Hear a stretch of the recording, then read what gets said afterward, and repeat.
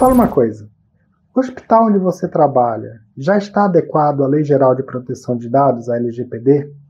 Vou aproveitar e relembrar algumas pessoas públicas que já tiveram os dados vazados de hospitais ou clínicas? Ó, não esqueça de dar um joinha e de se inscrever no nosso canal, tá bem?